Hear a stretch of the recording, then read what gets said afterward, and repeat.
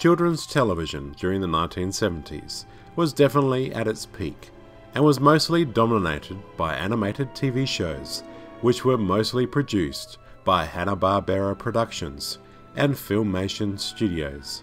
Filmation Studios decided to concentrate more on live action shows after the hit live action series Shazam, and followed with Ark 2, which aired on CBS from September the 11th until December the 18th of 1976 for only 15 episodes. Inspired by the Bible story of Noah's Ark, the show was set in the post apocalyptic 25th century in the year 2476, after Earth has slipped back to the Dark Ages and mankind has been almost decimated by the effects of waste and pollution. Mankind's only hope, a group of three young scientists Commander Jonah, played by Terry Lester, Ruth, played by Jean Marie Hon, Jose Flores, in the role of Samuel, and Adam, an intelligent talking chimpanzee, Moochie, voiced by creator and producer at Filmation Studios, Lou Scheimer, who travel in a high-tech vehicle known as the Ark 2, who during their travels seek out and help small surviving groups of people to bring peace and balance to a dying civilization. The three of us, uh, Terry Lester, who played Jonah, myself, I played Ruth, and uh, Samuel, we were like the police force in this, uh, uh, it was the futuristic society. We were to do good, help society, and it felt good playing a role like that. Hopefully we could teach the kids a thing or two and get them thinking about certain issues of the day. They set me up with wonderful agents, and at that time I had an agent.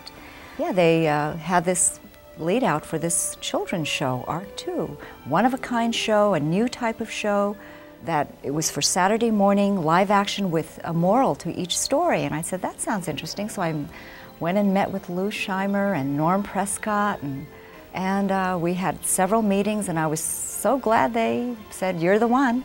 Incidentally, all the main characters had biblical names to stay true to the Bible element the show had to it.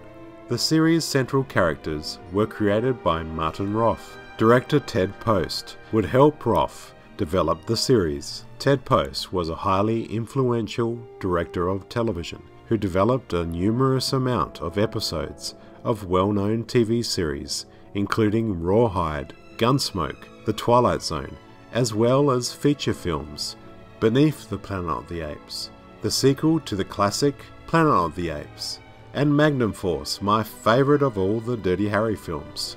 The most memorable element of Ark 2 is of course the futuristic looking six-wheeled RV, the Ark 2, that also acts as a mobile laboratory. Boy did we have fun doing Ark 2.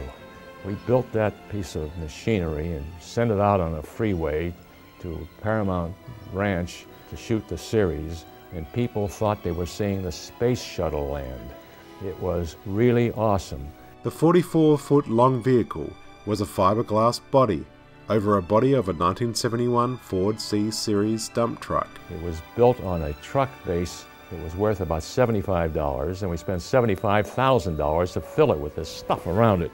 During the production of the series, the actual Ark 2 vehicle was in fact always breaking down between shots and virtually impossible to drive during the night time due to the limited visibility of the vehicle. All the scenes that you see in the main title and where it's really going fast, we shot out uh, towards Edward Air Force Base at uh, Dry Lake and did those with chase cars and all where we didn't have an issue of, of anything else being in the way. But the rest of the time it, it moved pretty slowly on the roads out at the ranch. And one of the things was it was always breaking down. Many people believe the six-wheeler RV in Ark 2 was built by Dean Jeffries, but this is untrue. Jeffries would build the Landmaster for the feature film Damnation Alley in 1977. The Landmaster was very similar in design to the Ark 2, but not the same vehicle, an assumption that people often make. The front end of the Ark 2 prop was later reused for the nose of the spaceship, the Seeker, in the other Filmation TV shows, Space Academy and Jason of Star Command. Other well known gadgets featured in the Ark 2 series was the jetpack, called the Jet Jumper. The other vehicle in the series was the Ark Roamer, a smaller four wheeled vehicle which was a Brubaker box kit car built over a chassis of a 1968 Volkswagen. The Roamer was carried in the rear of the Ark 2 during the summer of 1976. Most of the series was shot at the Paramount Ranch, which was near Malibu, California. All our Ark 2 episodes were fortunately shot during the summer break, so uh, uh, we did have the benefit of having nice long sunny days. And uh, if, you, if you look at the episodes, you'll see that there's never a night scene. We shot pretty much all daylight exteriors except for the interior of the Ark, which was a set that was built on the stage back at the studio. But most of the episodes we shot out at um, what is now Point Dume State Park, but it was, uh, or Malibu State Creek Park, but it was then the Paramount Ranch and it was a it was a wonderful place. It had a lot of sort of old crumbling sets from things like Planet of the Apes and Sand Pebbles and a lot of things that we utilized into Ark 2 itself. The sound effects used in the series were actually the sound effects of the USS Enterprise in the original series of Star Trek. Filmation had used some of the sound effects from Star Trek for the animated series, which they produced in 1973 to 1974. Ark 2 had a number of guest stars, including Jonathan Harris, Jim Backus from Gilligan's Island, a very young Helen Hunt. Helen Hunt would make an appearance in episode 5 titled Omega, but the most famous guest star was Robbie the Robot as the title character that was built by Samuel in episode 4 titled The Robot.